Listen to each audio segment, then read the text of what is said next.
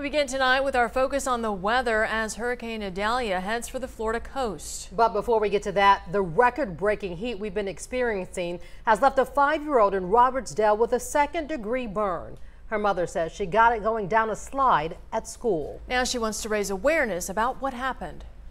When I got there, she was hysterical. She was crying. This burn is what caused five-year-old Kali to bawl. Her mom, Tariana Marks, took this picture of the burn Friday afternoon and this picture Sunday. She says a doctor at the emergency room said it was a second-degree burn. She can't sit on her bottom, so I can't send her to school. Mark says it happened while Kali, a kindergartner, was playing on one of the three playgrounds at Robertsdale Elementary School.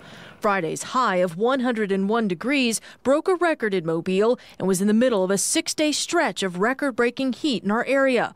The injury report Marks received says the children were instructed not to go down the slides, but Kali did. Even though they said they warned them not to get on the slide, they're kids. I mean, she's only five someone should have been watching her and that should have never happened. A statement from the school system says in part, quote, this incident happened during a 15 minute recess used to give the students a break and get outside for a few minutes. The principal has since taped off all slides on campus in an effort to re-emphasize the warning and instructions that were given to the students. The principal did speak with the parents regarding the details of the event.